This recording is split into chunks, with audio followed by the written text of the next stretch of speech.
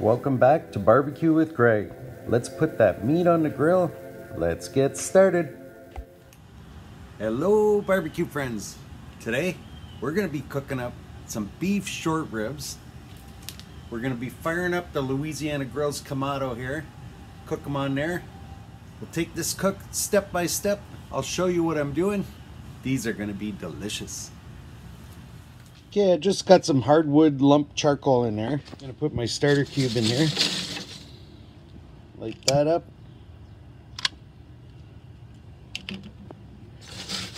Gotta put a few pieces around there, get them started. Okay, well we got this lit, let's get our meat ready. Okay, here's our beef short ribs here. Got this nice rack of ribs here. We're gonna keep this real simple. Gonna get some Worcestershire sauce. Coat that nice.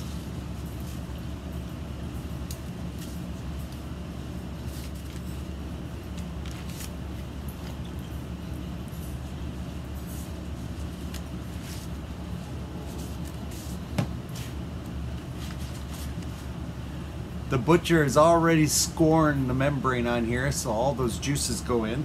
Got this at my local butcher's, Medell's Brothers Quality Meats. Look at that, just a beauty. Okay, I got kosher salt here. We're just gonna do salt and pepper on this today.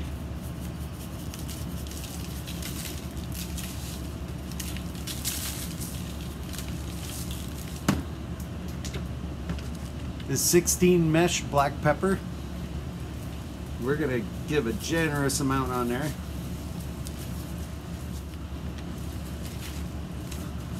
As I learned from my last brisket cook, you can't put too much pepper.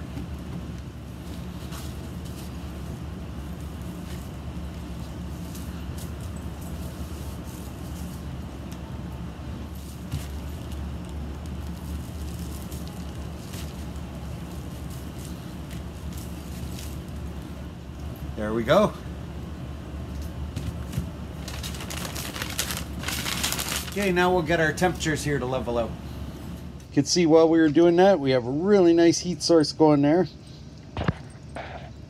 So let's start setting up our grills. Okay, gonna start off with our ceramic deflector.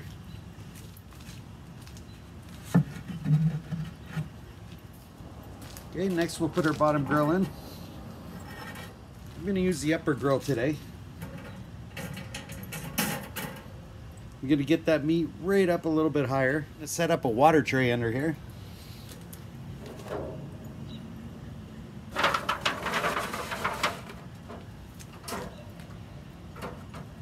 It's to help just maintain some humidity, a little more thermal mass in there. Okay, I'm to close the lid here.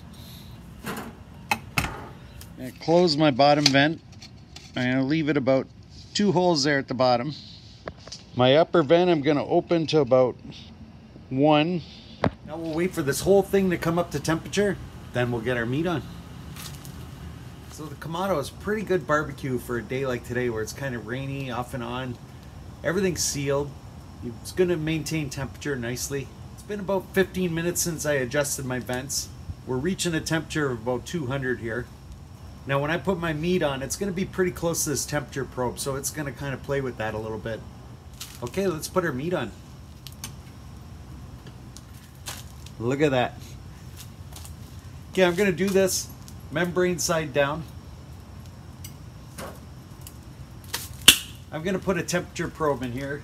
Try to find the thickest part of the meat, but not too close to the bone.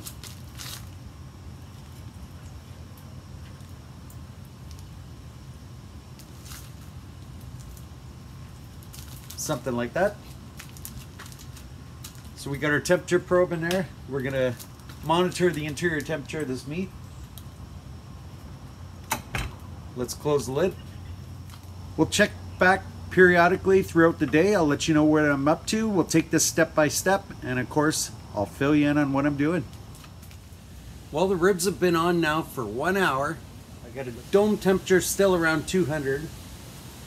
The interior temperature of our meat is 86. Let's open it up, check it out.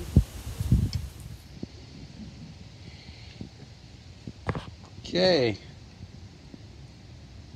Not much has happened. It's only been one hour. You can still see it's nice and moist on top.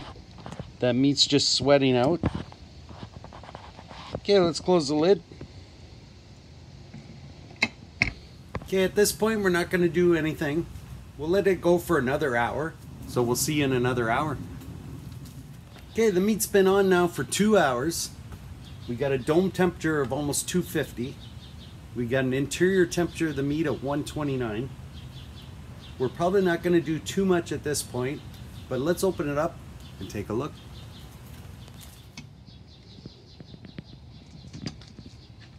All right, starting to get some nice smell coming off of here. Looking really good. The outside of it is still kind of sweating there. So I don't think we're going to need any spritz just yet. Let's close this up. Okay, at this stage we're not going to do much. I may just cut this back just a little bit. I don't want our temperature just taking off on us. So again, we'll check back in another hour. All right, time to check back. We're now at the three hour mark. Now the sun's shining. We still have a dome temperature around 250. Interior temperature of meat is 147. Let's open it up.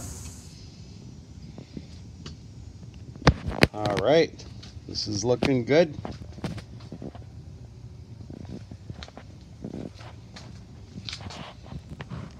All right, I think just at this point, since I have it open, I might give it a bit of a spritz. All right, let's close our lid up. Again, we'll check back every hour. I'll keep you updated and we'll see you then. We're at the four hour mark. We got a still got a dome temperature of 250 here. We got an interior temperature of 153. Let's open it up and take a look. Ha ha ha, this is coming along nicely here. All right, we'll give it another spritz. We're not going to do much at this point, just another spritz and close it back up. Close her up. See you back in another hour. Okay, we're at the five hour mark now. We got a dome temperature just under 250. Our interior temperature is 154. I think what I'm going to do now, I'm going to bump this damper up just past one a little bit and open my bottom to three sets of holes just to try to get more airflow, a little more temperature. We'll open it up, we'll give it a quick spritz.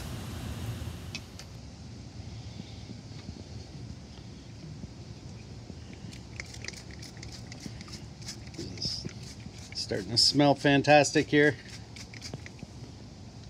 Okay, we'll close the lid. We'll come back in another hour and see if our temperatures come up a little bit. Okay, these ribs have now been on for six hours. I got a dome temperature just over 250. I got an interior temperature of 154. So our temperature is coming up a little bit, but I'd like to see it come up a little more. Show you where I'm at here. Let's open this to about one and a half. I got open to now four sets of holes. All right. We are rendering down here a little bit. There's a little bit of bone here coming through. Let's give this a spritz.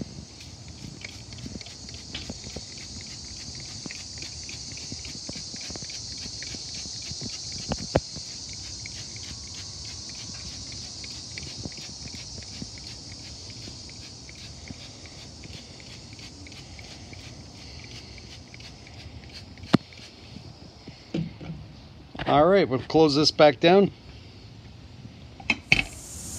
Okay, we'll check back in another hour. We are seven hours in now. So a little while ago I noticed I'm still losing temperature.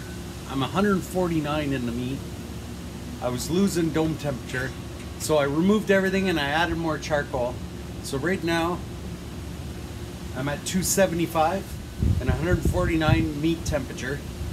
I'm gonna periodically check back on this, spritz it, I'm trying to bring it up to about 200 degrees interior. Once I reach that temperature, I'll share with you what I did to get there. We'll pull the meat off and we'll get ready for the taste test. Okay, these ribs are now done. It's been over nine hours. I had the little hiccup where I had to add some charcoal. So I guess the rule of thumb is to put more than what you need. But this is done. I'll bring you in and have a look. The last two hours I ran a dome temperature of around 400 degrees. My final meat temperature was 198 degrees. Okay, let's slide this off. Put it on the board there. We're gonna cover this up a little, let it rest, and we'll come back. So overall, this was a great cook. The Kamado is great for just holding its temperature, and we did do that for a while. But I did realize halfway through the cook, I should have put more charcoal in. But that's why I do these videos. You can learn from my mistakes. Well, we recovered. For every misstep, there's a way to recover. And at the end, we're gonna have a great product here. So Let's slice into this, see what we got.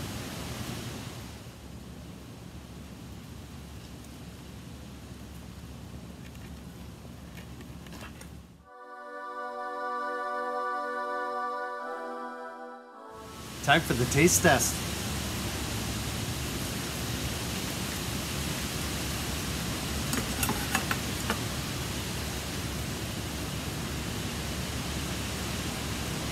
Look at that. Beautiful.